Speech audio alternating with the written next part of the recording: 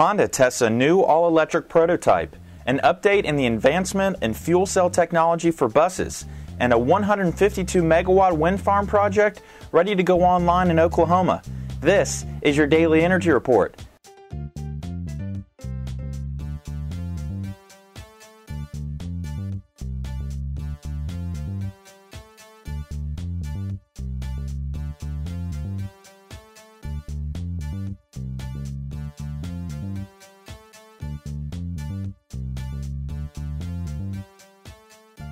Hello, and welcome to your daily energy report for Monday, December the 27th.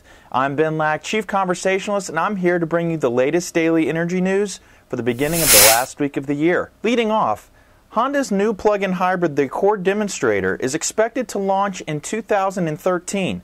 The car can take short, frequent trips in all electric modes. The hybrid system uses a two motor system that shifts between three modes for maximum efficiency. The first of these is an all electric mode, which uses a 6 kilowatt hour lithium ion battery and a 120 kilowatt electric motor. This mode can go up to 15 miles of in city driving while at a speed of up to 62 miles per hour. Recharging the battery takes up to 4 hours on a 120 volt outlet.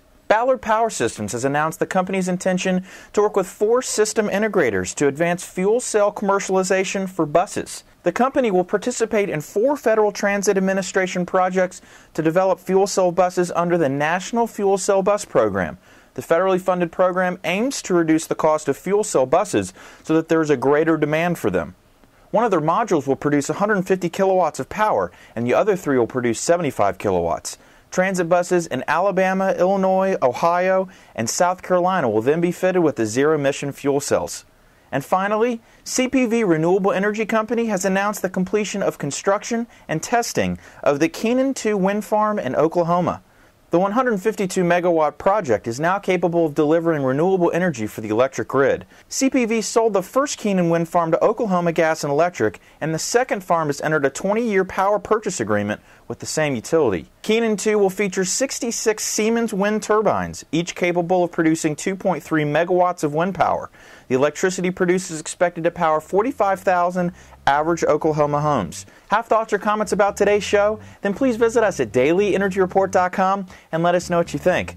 That's all the time that we have for today. Thanks for watching and make sure you check out tomorrow's Daily Energy Report. This is Ben Lack signing off.